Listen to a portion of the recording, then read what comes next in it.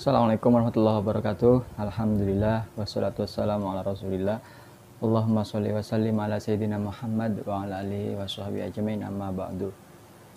Ini ada berita yang menggegerkan dari Banyuwangi. Kita mulai ya, 1 2 3, mulai.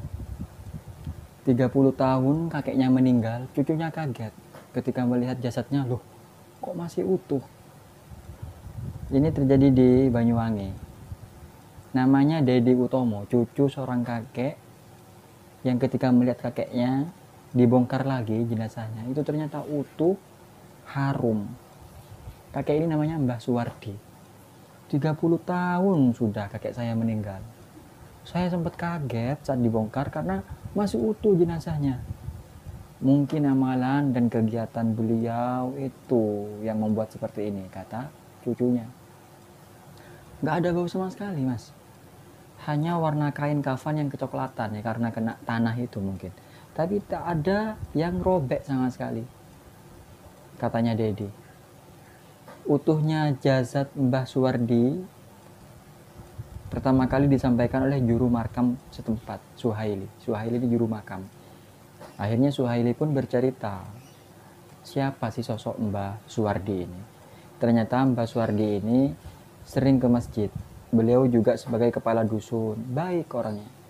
Setiap harinya selalu membaca Al-Quran dan doa-doa nubuat.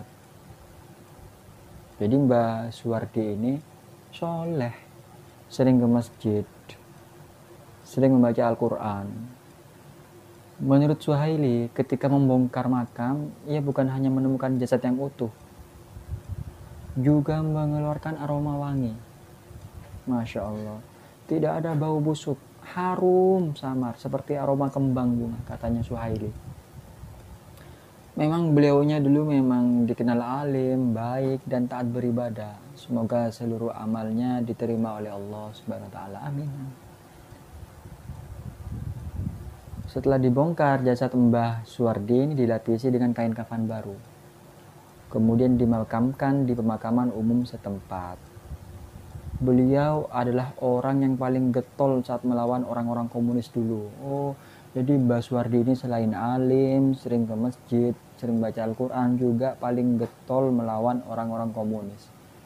Bagaimana videonya? Kita lihat videonya.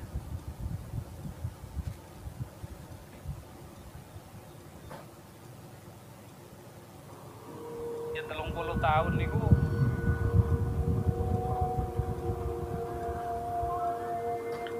pirang tahun lah ya. Ini makamnya. Basuwardi. Mudah-mudahan Allah merahmati para orang-orang yang beramal soleh yang rutin ke masjid dan istiqomah membaca Al-Quran. Mudah-mudahan mayatnya jenazahnya utuh sama seperti Mbak Suwardi. Ini kain kafannya coklat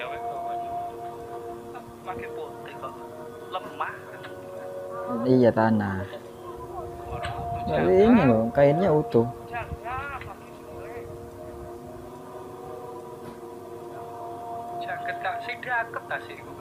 Ya. Masya Allah. Allahumma ghafir lahu warhamhu wa'afi wa'fu anhu.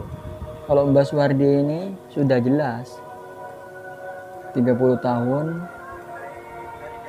jenazahnya masih utuh sudah jelas. Ini adalah orang baik. Lah kita ini kurung karuan baik.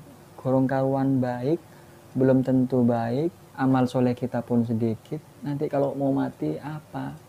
Kenang-kenangan atau kesan bagi anak kita. Apalagi nanti makam kita dibongkar ternyata mayat kita ini bau busuk, hancur. Kan Nauzubillah min ya Allah mudah-mudahan kita semua menjadi ahli ibadah ahli Quran sehingga jenazah kita nanti utuh jasad kita nanti utuh di di dalam kubur. Amin Allahumma amin.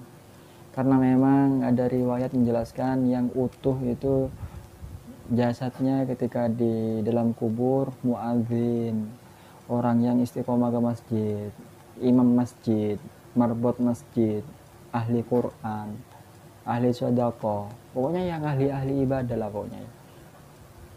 mudah-mudahan kita menjadi ahli ibadah. Mohon maaf kita stop. 1 2 3 1 2 3 Assalamualaikum warahmatullahi wabarakatuh